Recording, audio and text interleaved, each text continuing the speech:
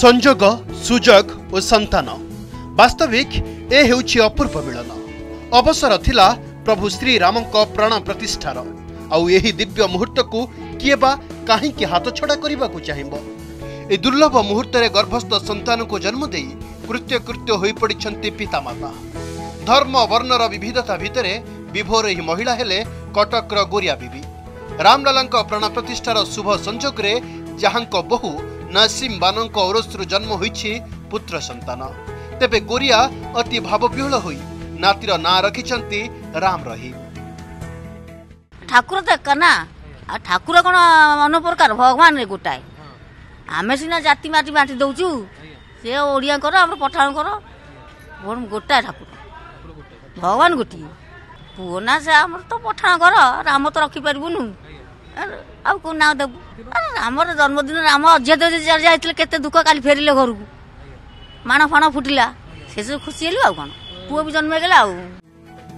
ରାମଲାଲାଙ୍କ ପ୍ରାଣ ପ୍ରତିଷ୍ଠା ବେଳେ କଟକ ଏସ୍ସିବି ମେଡିକାଲରେ ଛବିଶ ଜଣ ଶିଶୁ ଜନ୍ମ ହୋଇଥିବା ବେଳେ ଭୁବନେଶ୍ୱର କ୍ୟାପିଟାଲ ହସ୍ପିଟାଲରେ ଅଠରଟି ଭୁବନେଶ୍ୱର ଏମ୍ସରେ ତିନୋଟି ସନ୍ତାନ ଜନ୍ମଲାଭ କରିଛନ୍ତି।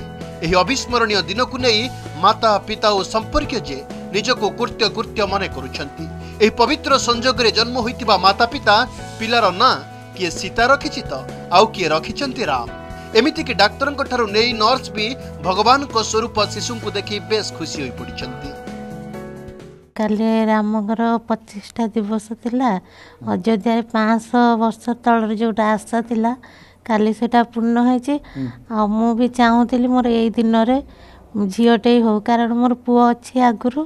ସେଥିପାଇଁ ମୁଁ ସାର୍ଙ୍କୁ ରିକ୍ୱେଷ୍ଟ କଲି ମୋର ସକାଳୁ ପେନ୍ ବି ହେଲାଣି ଆଜି ମୋତେ ସିଜରାନ୍ କରିକି ଛୁଆ କେମିତି ହେଇଯାଉ ମୋର ଭଲରେ ଗୋଟେ ଝିଅ ଝିଅ ହେଇଛି ସୀତା ତା ନାଁ ଦେଇଛି ମୁଁ। ଆପଣ ଦେଖନ୍ତୁ ଗତକାଲି ଯେଉଁ ରାମଲାଲାଙ୍କର ପ୍ରାଣ ପ୍ରତିଷ୍ଠା ଦିବସ ଥିଲା ଏଇଟା ଗୋଟେ ପାଞ୍ଚଶହ ବର୍ଷର ଅପେକ୍ଷାର ଗୋଟେ ଅନ୍ତ ଘଟିଲା ଏବଂ ଉତ୍ସବ ମୁଖର ଦେଶ ସାରା ସେଇଭଳି ଆମର ଶ୍ରୀରାମଚନ୍ଦ୍ର ଭଞ୍ଜ ମେଡିକାଲ କଲେଜ ସ୍ତ୍ରୀ ରୋଗ ବିଭାଗ ମଧ୍ୟ ଉତ୍ସବ ମୁଖର ହୋଇଯାଇଥିଲା। କ'ଣ ଉତ୍ସବ ମୁଖର?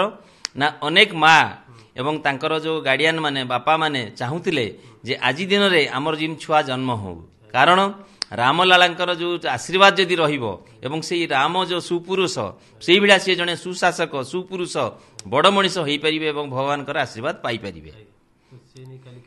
କାଲି ଟୋଟାଲ ଆମର ସ୍ତ୍ରୀ ରୋଗ ବିଭାଗରେ ଛବିଶ ଜଣଙ୍କର ପ୍ରସବ ହେଇଛି ଏବଂ ଏଇ ଛବିଶ ଜଣ ପ୍ରସବ ମଧ୍ୟରୁ ତେର ଜଣଙ୍କର ନର୍ମାଲ ହେଇଛି ଏବଂ ତେର ଜଣଙ୍କର ସିଜେରିଆନ୍ ହେଇଛି। ଦୁଇହଜାର ଚବିଶ ଜାନୁଆରୀ ବାଇଶ ପୌଷ ଶୁକ୍ଳ ଦ୍ୱାଦଶୀର ଏହି ଶୁଭ ଦିନକୁ ଅପେକ୍ଷା କରିଥିଲେ କୋଟି କୋଟି ଭାରତୀୟ। କାରଣ ପାଞ୍ଚଶହ ବର୍ଷ ପରେ ନିଜ ଆସ୍ଥାନରେ ବିରାଜିଥିଲେ ପ୍ରଭୁ ଶ୍ରୀରାମ। ଲକ୍ଷ ଲକ୍ଷ ପିତାମାତାଙ୍କ ଅପେକ୍ଷା ବି ଥିଲା ଏହି ଶୁଭ ବେଳାକୁ। ଅପେକ୍ଷା ଥିଲା ନିଜ ପରିବାରରେ କୁନି ଅତିଥିଙ୍କ ଆଗମନକୁ।